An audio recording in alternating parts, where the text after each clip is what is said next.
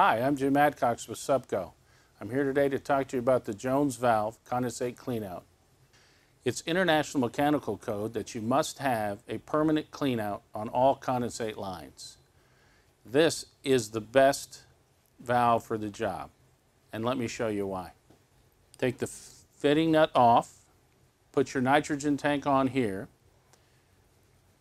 You will turn the valve, and as you will see, there's no hole on one side, but there is a hole on this side. So while the valve is installed and nitrogen begins to flow, it will push all the clog in that direction. Then you simply turn the valve the opposite direction. You'll see the hole on this side now, no hole on this side. Again, turn your nitrogen on, and now you're blowing everything that way.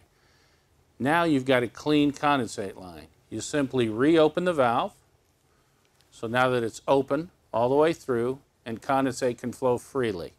The Jones valve is the easiest, economical way to do your permanent condensate install.